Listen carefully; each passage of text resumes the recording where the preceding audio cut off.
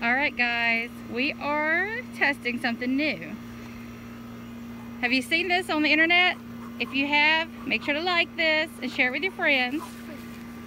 Okay, stop for a minute so we can show them exactly what it is. Okay, so it's to help with coordination, boxing. Now you can make this string shorter. I we want just, it shorter. um, we will try that next. All right, so now we uh, took a second. We made it a little bit shorter, but uh, it's pretty fun. Now that ball he's got on there is one of two balls that come with it. That ball is very lightweight, so I guess it, to us it'd be for beginners. There's not really any directions with it, but it was really easy to kind of figure out. Now it does come with another ball that's a different color and a lot heavier.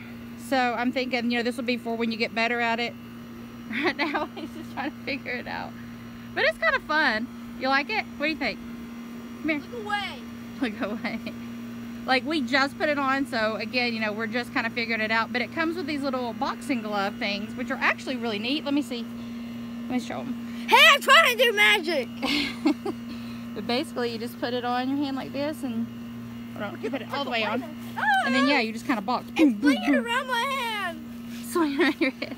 What do you think? You like it? I They make love it look easy on the videos of people that probably had it a while. All right, see if you can get it some boxing going. Ooh, ooh. Work on that coordination.